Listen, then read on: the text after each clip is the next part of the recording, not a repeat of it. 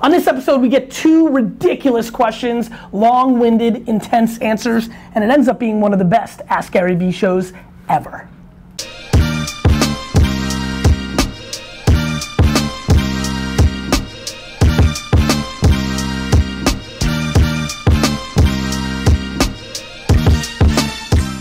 So, real quick, I'm just gonna convert into Chin Man. Chin Man's got a couple things to say. Number one, I got serious love for all of you.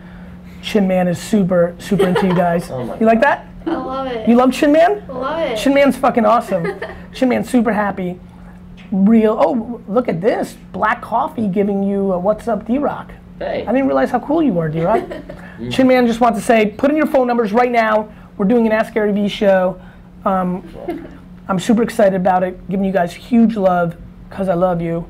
And uh, put in your um, put in your phone numbers right now. We're doing an Ask Gary Vee show. What's up, everybody? Ask Gary Vee, the Instagram Live uh, edition.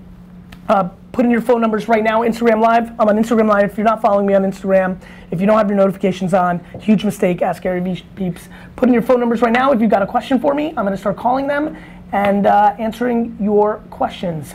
Um, that's how we're going to do it. D Rock's going to try to do this while I sit here and yap with you guys. Um, yeah, there's a bunch of numbers. I can answer some little quick questions here as well while I'm with you.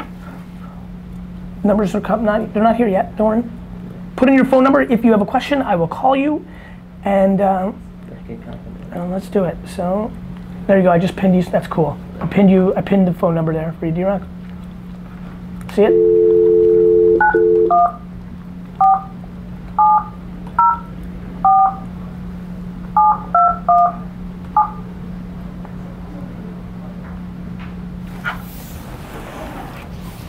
You didn't hit a one first? Worked without it? Here we go. You want me to hold that? Mm-hmm.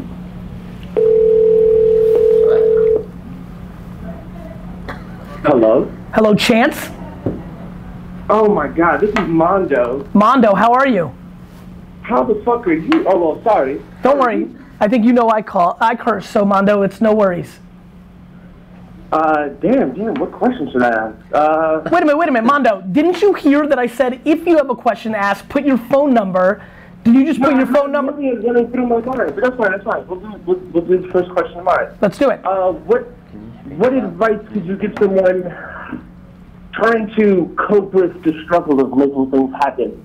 I guess uh, you know someone who missed it all and is currently combating everything that's being thrown at them, trying to make the dream happen. How can you? So what? know, So what's? uh, So what? head above water. So let's talk about it. What? What's? What's? Be, what's being thrown at you? Uh, I guess, uh, if I'm being honest, uh, I I took I took uh, I quit my job to take on part-time work so that I could focus on on uh, working on more music and more concerts. And I guess I thought I found myself back working sooner than I thought.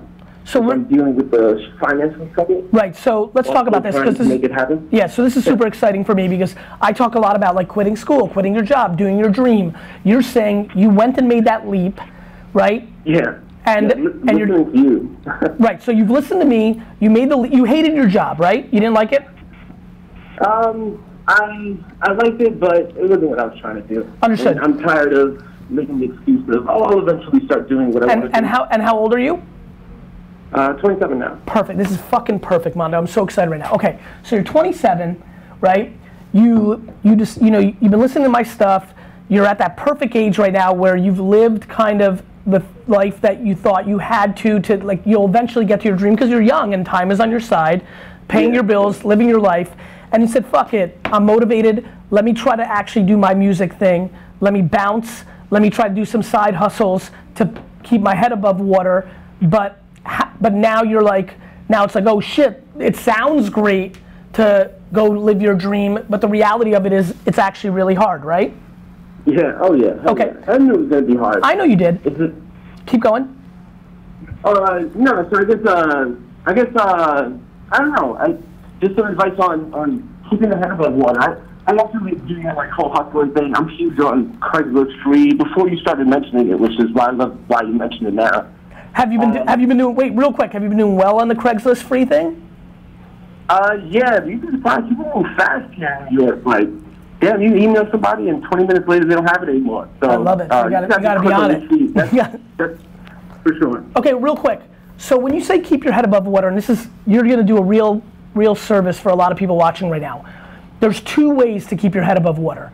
There's the financial, and there's the Yeah. emotion, and there's the emotional and I don't mental. Even, and I don't even mean the financial so much, because like I said, like as long as you hustle, you can keep your head above water in the financial. But it's more the uh, the emotional. You So know, let's like, talk. uh, let's now let's. I love it. example, I We're- quit my job. Mondo. You have no idea how hard. Oh, good. No, no, no, no. Keep doing your thing. Do your thing. Oh no, no, I mean, you know, like I quit my job and explaining that to my parents. Like my parents were immigrants, they didn't understand, uh, and stuff like that. So it's hard to to find help when not everybody believes in what you're trying to do. I So, so that's right. So it's- it's- it's honestly. Mondo, honestly, honestly, it's a it's like a plinko board, right? Like so, like keeping your head above water or like getting through the toughness comes in the financial part and comes in like the you know like the emotional part, right? Like it comes in and then in the since you have skills of buying and selling, hustling, you're not fancy, you're willing to go on Craigslist and and and you know, make up 20 bucks here, 50 bucks here, take a side job. I love that about you. You're actually you're actually very lucky because that part's actually difficult. A lot of people don't know how to make money and aren't good at that.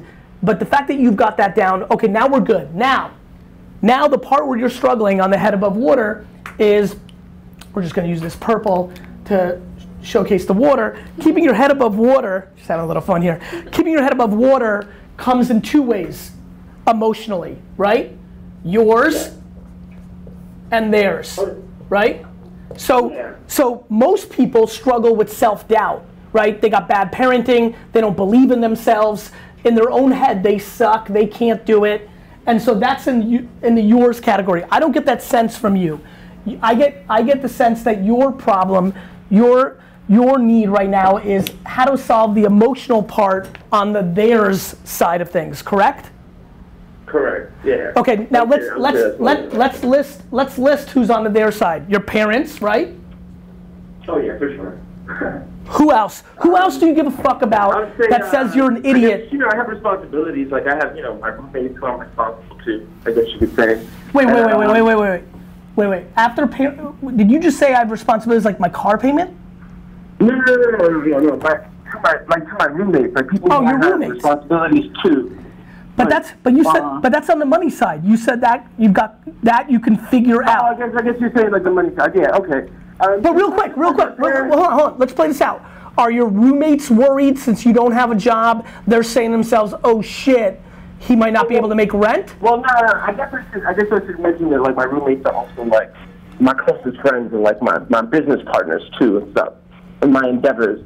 So it's kind of like it's it's more in that sense than the financial roommate stuff. And then uh and then just I guess like my my girlfriend, my partner. Uh, of course, girlfriend just matters. just- yeah, exactly. Um, but it's, it's really just that I, I keep my circle tight, so to speak. Does your girl is your girlfriend worried? Um, she wasn't worried in the beginning, but yeah, we could say that she's worried now. And is she worried because she wants stuff, or she's worried because she's worried long, no, no, long she's term? worried. No, she's worried about like worried about me long term. Yep. Uh, making sure that this all works out. Um, nothing, nothing. She's not. She's not the fancy So, type hel- either. so help me here. Help me here. Would I be right in saying that 80% of your energy that's tough is mainly focused on your parents? Uh, yeah, yeah, you could say that. Is that right? Don't don't don't don't no no don't don't yes me. Don't yes me. no, maybe definitely yes, yes, It's them, right? yeah, for sure. dude, it's always that, right? Like, the, like that makes so much sense to me. The fact that you've got your money down, you've got you've got your own mentality down. Your girlfriend and your homies are supportive enough to keep you going. If the only thing that's dragging you in this big risk that you took as their parents, you have to understand how this plays out. Somebody's gonna be right and somebody's gonna be wrong, but either way, they're gonna always love you, and you can't do something with them that much in mind because eventually you're gonna resent them, and that's gonna be way worse than them being worried right now. Yeah. no, that's that's for sure. I mean, bro, you have to understand. If you wake up at 34 and you're not, and you didn't pull it off, well, then at least you never have to worry about did you have it. Oh yeah, oh yeah, of course. That's why I took the lead to begin with. Uh, On the day to day, on the day to day, you have to start loving. You have to do this to get to the ultimate place. You have to start loving the adversity and then and the pushback instead of hating it. That's the key. Yeah, and I, I think that's I think that's what uh no, I think that's what I'm that's what I'm combating with is uh is the excessive. Are you sure that this, this is worth it? Did, you do you regret it? Like I've had people ask me, do I regret it? And it's a constant no. Brother. it doesn't matter. Brother, you, you're getting asked by people that do you regret it that are playing defense in life. Yeah, yeah. You, you have to, you, bro, you don't understand. You've already won, Mondo. You've already done something that 95% of people don't do. You've tried. yeah. Now, brother, I have no idea if you're fucking good at this music thing or whatever the fuck you're up to. Like that. I think so. Let me tell you this though. That's gonna play out. Just promise me this. At 33, if you don't, if you don't, you know, succeed, don't come up with excuses. Don't say it was you got passed over or you got fucked. Like the market is the market. Be happy Yeah. that you tried, and that's the win. That's what this is all about, bro. Like you've got to try, and if you're good enough, awesome. And if you're not, awesome. But the fact that you've tried puts you in rarefied air. Awesome. Brother, here's what I would say. Ready? that's great advice. Here's where my mind's at. Tomorrow you get upset. Like right now you're on a high. We talked. You're gonna feel good, right? Cool. Yeah, yeah, yeah, Next yeah. Thursday, next Thursday, if you're like, oh fuck, like somebody backed out of something, or somebody said your shit was whack, or Yeah. or you're stressing on money. Here's where you have to go. Number one, you got to get inside your own head and just think about here's how i think about it like it's really just like fuck them like like it really is man like like you have to live Yeah. for you you have to at 27 live for you if you're curious to see if you've got it Yeah. Like right. you've you have to realize you've already won. You have to feel sorry for everybody. Do you understand what happens to me if a friend said to me, "Do you regret it?" Literally in my head, I would say, "Uh, I feel so bad for D-Rock." like, but but I mean that. Like, you have to look at them with pity. Like, I fucking Yeah. I fucking respond to people dragging me down or hating on me or or leading the question to negativity with pity. Yeah, because you pity their. Brother, if my buddy was like, "Do you regret it?" I'd be like, "No, I would regret it if I worked at Goldman Sachs." By the way, my buddy would be working at Goldman Sachs if he asked me that question. Do you know what I mean? Yeah, yeah. Like spit fire with fire. All right, cool. Damn, this is this is a great conversation. I wasn't expecting this either. Only from that 60 second club. Never got lucky, but thank you so much. You got real fucking lucky because guess what? This is way better than a fucking T-shirt and signed book. That what? Uh, see, oh, this is awesome, man. You made points about uh, downloading it offline, but it's not offline, online anywhere. What's that? Uh, no, because you're always talking about how you can't buy it, torrent it. And I'm like, all right, you know, Oh, my book? I'll buy it when I have it. it but it's nowhere to be found, so you know. I'll well, first of all, that's crazy to me. That means everybody's giving me some serious love. Second of all, Yeah, yeah. send me send me an email. I'll send you a copy. Thank you so much. Appreciate the conversation. You got it, brother. Good luck to you. Brother, listen to me. Your parents love you. And, and either they'll love you either way, or your parents are broken, which I doubt because they're just immigrants and they see it one way. For everybody who's listening, your parents love you and they'll be there when you fail, or your parents are broken and emotionally broken. They're sick and you need to limit your interaction with them anyway. Either way, going for it is the right move. Your parents will respect you more that you went for it than listening to them deep down. And quit it. Anybody, anybody who treats their kids as a property or an indication to who they are are losers. If your parents aren't supporting you because they're embarrassed amongst their friends, they're fucked up. If they're not supporting you because they're scared and they love you and they're just scared because that's their DNA, then you're Yeah. set because they'll be there when you fail or they're going to be your biggest cheerleaders when you win. Do you understand? Yeah, yeah, no, no, no, for sure, for sure. And I, and I, and I do see that cut a little, bit, but yeah, it is what it is. It is what, brother. I know you love them. I can tell, and I love my parents. But at the end of the day, my parents are way more proud of me now that I've went out on my own and Yeah, fucking like, dude. And if I Yeah, lost, sure. listen, you can't live your fucking life for anybody else, including your parents. Anybody. Yeah, exactly. No, no, but it's easy to fucking say. But the reason you're the reason you're trying to keep you're not you're not keeping your head above water. You're actually living I life. the decision to quit uh, for myself. Uh, I Exactly. knew it wasn't gonna be easy and all that shit. Yeah, yeah, Brother, sure. nothing good is easy. Yeah, nothing good comes easy. I mean, I started this one my last two years ago. Hey, all right, this is awesome. Listen to me. do this email. Yeah, send, Gary at VaynerMedia, send me the email. But listen, it's binary. I'm not looking for you to be hyped right now and peacocking. Oh, no. I'm worried about next No, no, Thursday. yeah. Okay? Awesome. Let's Got do you. We'll See you. Good. You got a number? Yeah. All right, I'm gonna talk to everybody. We got deep there with Mondo. Mondo was perfect for me because what happened there is he's living the life so many of you are debating, right? Like so many of us are debating, right? Like what do we do? Like where are we going? How are we doing it? Can I take this leap? Can I afford it? And there's a lot of scenarios of this. Like, you know, some people like Mondo are worried about their parents and it's a loving thing, which is awesome. Other people are living too fancy of a lifestyle and don't realize that they shouldn't renew their rent and they should go down $3,000 a month instead of up $2,000 a month. There's just a million different ways. Gary, Yes, how are you? I'm amazing. What's your name? Awesome to actually finally talk to you. Yes, I can hear you. Great, what's your name? Tiffany, Tiffany, Garbin. It's such a pleasure, Tiff. Where are you from? Um, originally from Northern California, but I'm in SoCal station at Camp Pendleton. I love it. How can I help you? Um, you know what? I just chimed in. I'm not even sure what the topic is. Okay, well, the topic is you asked me a question and I answer it.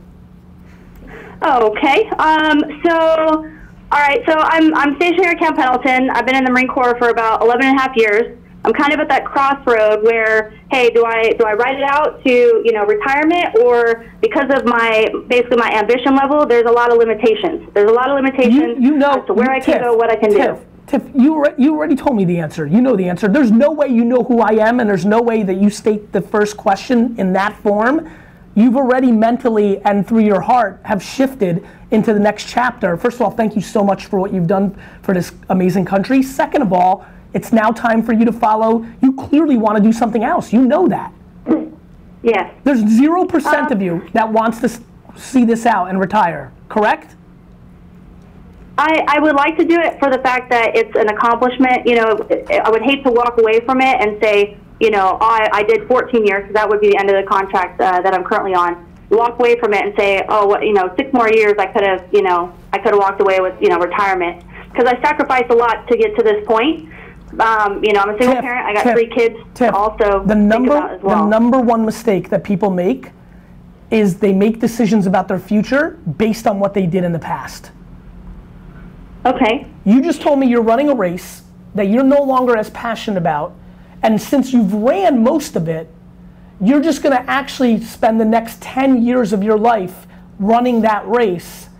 My concern is that you're doing that for a certain part of financial freedom that intuitively I wonder, you have to answer for yourself, are you going to be happier in a decade riding that out or will that hang over your head for the rest of your life of what if and what you could have done for the next 10 years Right. Right. It's that's true. Um, Can I ask you a question? I, have listened. Yes, please. could you leave try and then come back and get the benefits do they allow that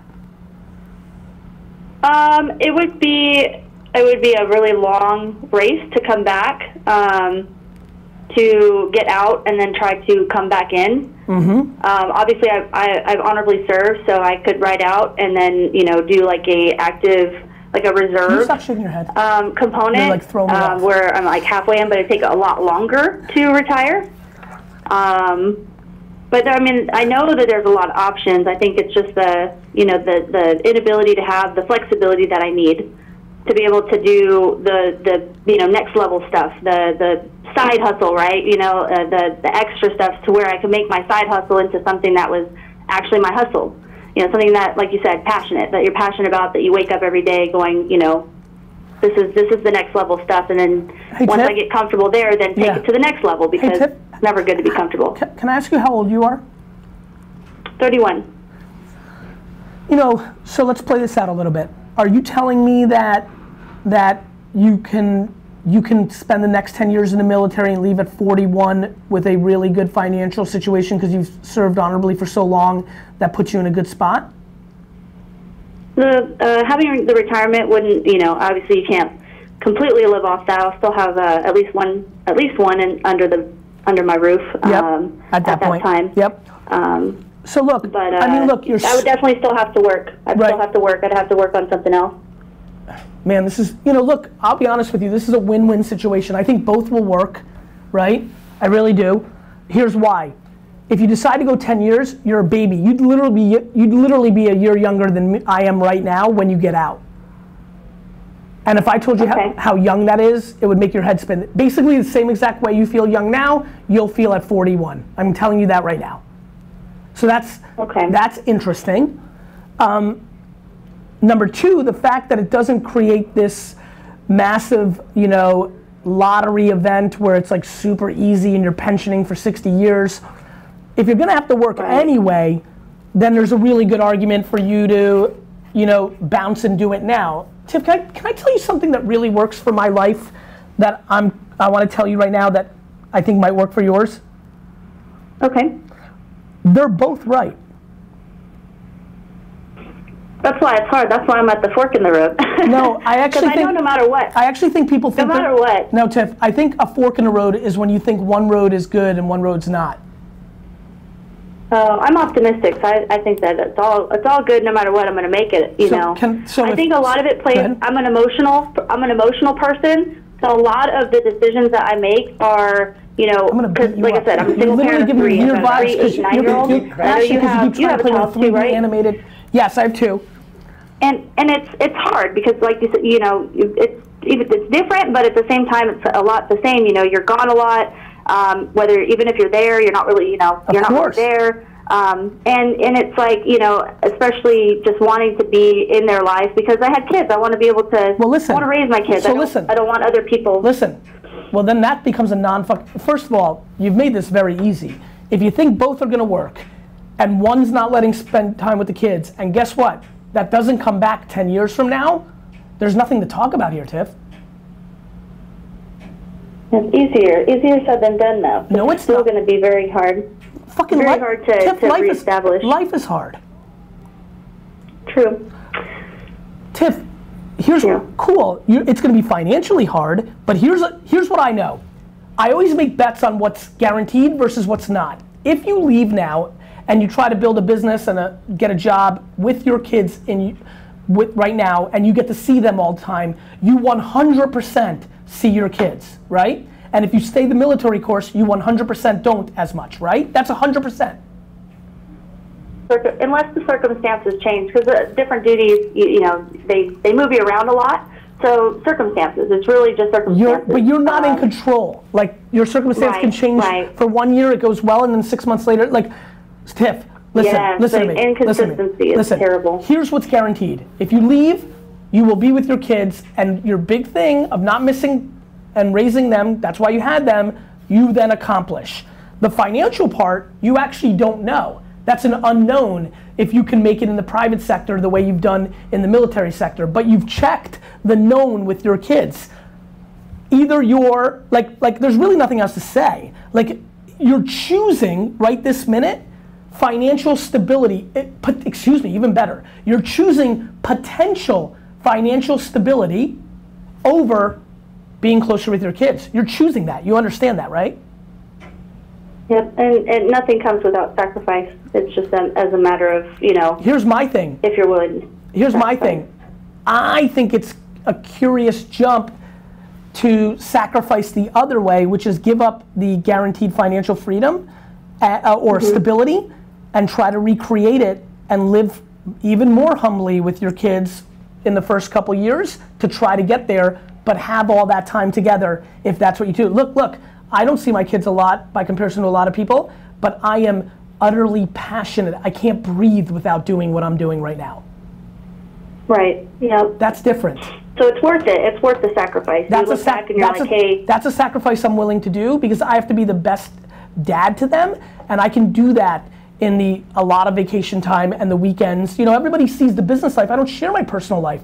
So what do you think is happening Yeah. on Saturday and Sunday? I'm leaving today at four, five, four thirty in the afternoon. That's unheard of for me in the past. Why? Because I'm choosing more time with my kids. But I'm, but I have to do what I'm doing, and I have to because I can't breathe. I would die if I was forced to not work and be Gary Vee and do VaynerMedia. I would die. I would leave my family. I would go to an island. I would die. I would shrivel. It's my, it's who I am.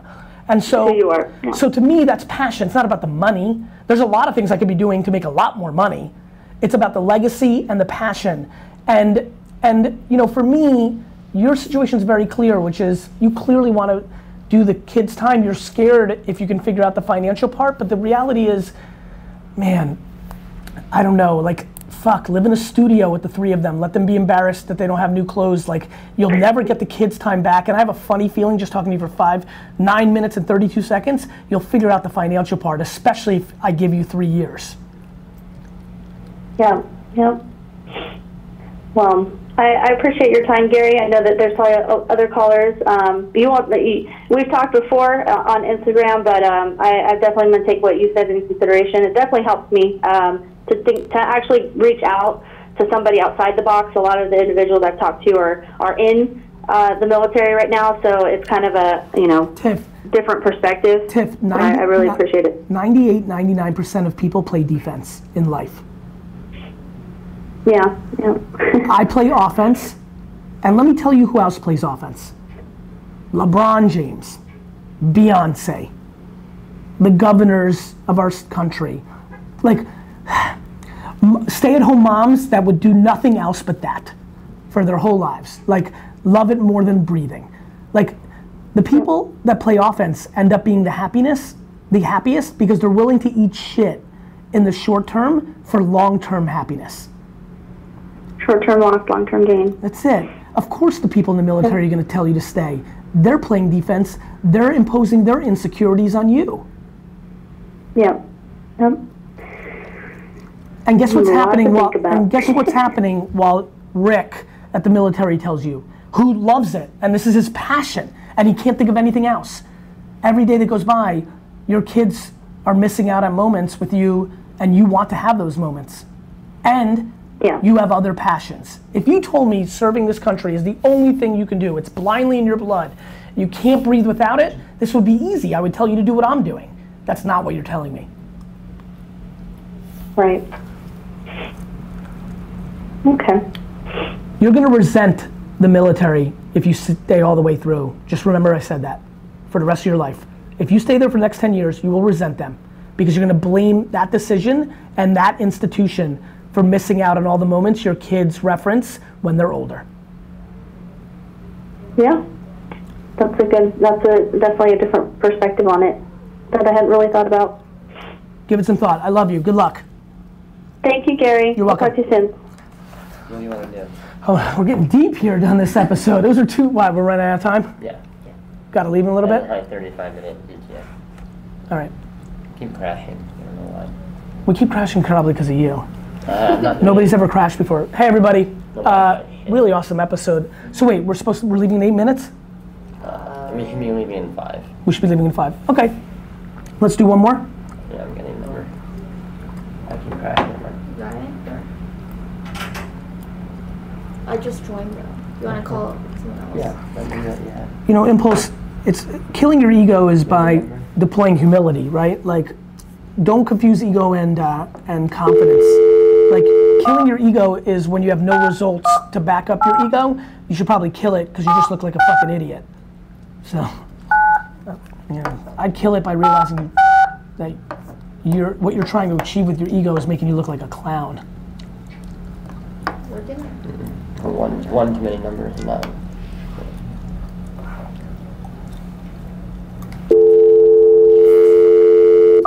Leota, hey, Thrifter, stop playing defense then. Let's go on offense.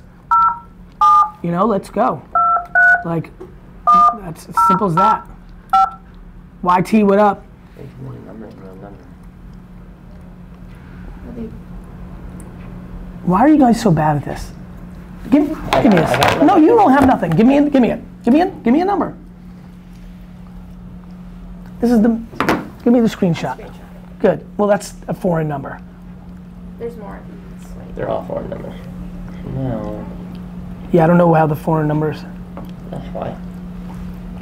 Okay.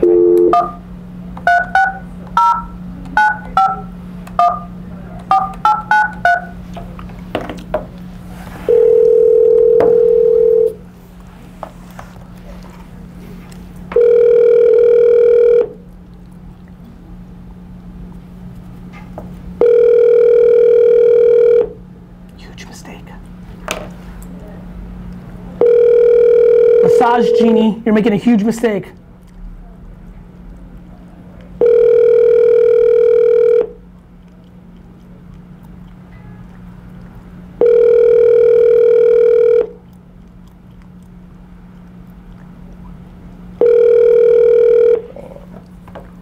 Please leave your message for, Emery Ellinger.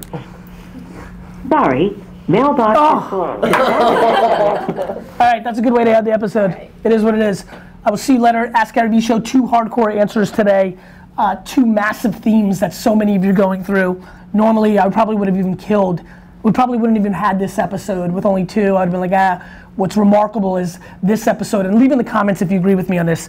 This episode's two answers are probably better than 90% of our episodes that have five answers. Universal truths and issues that so many of us are struggling with. Remember why I'm so passionate to go into these deeper issues of family and life? It's because the internet has unlocked the opportunities that were not practical for our parents and our grandparents, so you don't believe that this is possible. It's as simple as that. See ya. You keep asking questions, we'll keep answering them.